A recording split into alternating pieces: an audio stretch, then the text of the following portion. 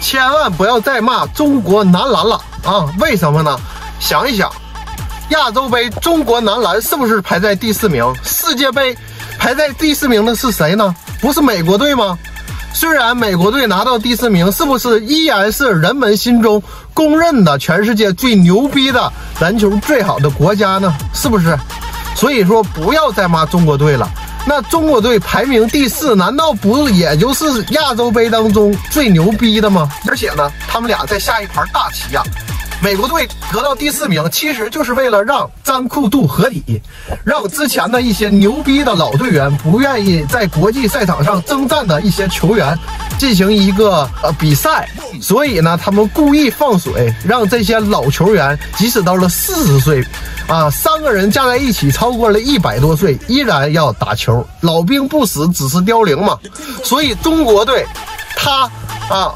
故意啊，把底裤都输穿，就是为了让姚明、王治郅、巴特尔、朱芳雨、王仕鹏，啊，孙悦再重新披上国家队的战袍，为国家队效力呀！啊，就是老兵不死，只是凋零啊！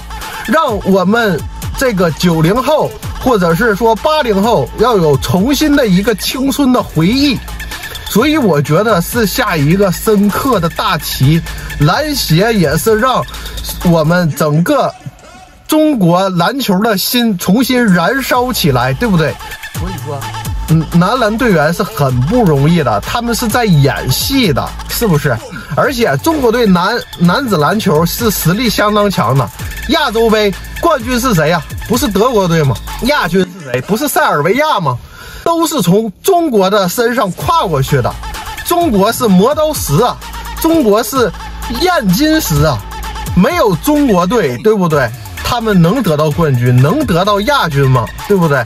中国队是什么啊？遇强不弱，遇弱不强。为什么？就可能别的弱队在德国和这个塞尔维亚的手里，可能要输一百分、一百五十分，但是中国队。就就就输了五十多分，虽然也是输啊，但是输的很低很低，所以啊，中国实力是很强的。但是呢，遇到弱队呀，比如说是二队，菲律宾的二点五球队，他们竟然也赢不了，一分啊险输。为什么？不是说没有实力，是演的，故意的。OK。上半场能领先二十多分，就充分证明中国队是有实力的。但是正正规规规矩来是完全没有任何问题的。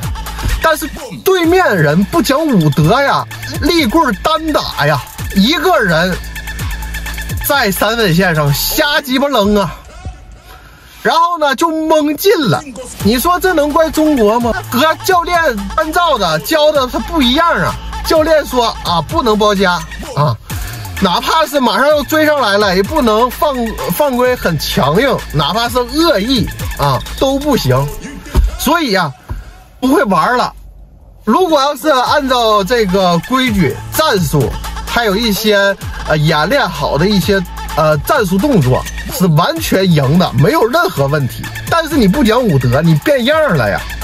明明说好了是按照战术来打球，你非得立棍单打，那我输了能怨我们中国队吗？啊，你菲律宾你就非得用这一个人啊？四十分钟的比赛你用三十九分四十秒，中国队必须得所有人啊，最多最多三十分钟，不能再再用了啊！以前的 CBA 啊，全场防守，广州队、辽宁队这些全场紧逼，他们体力。一一窍不通，和网红体力都是一样的，他们没有一丝体力啊！教练必须得给队员以关足够的关爱。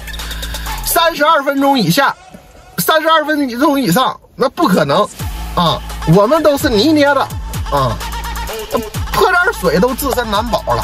所以呢，中国队呀，其实是很不容易的，知道吧？有头发的教练不继续用，非得用没头发的球员。一看着这不就心里有数了吗？一看到光头就知道啥意思了，就上去就演了，不全力以赴了。为的是什么？为的是让我们的大姚、大志、大巴啊、阿联，对不对？王仕鹏、朱芳雨再回到我们的球场上，让我们啊老一批的球迷重新的又燃起了对中国队的希望啊！不要再骂了，谢谢你们，我也不再骂了啊！十年前啊，看到自己喜欢球队输掉，那是挑骨吸髓呀！啊，这家伙这难过的不行不行。给一分钱，一分钱都不给的，所以大家一定要冷静观球啊！输了就输了啊，直接就是关闭电视机，对不对？打会儿游戏好不好啊？这个出去玩一玩好不好啊？对不对？我不说了，就到这里吧。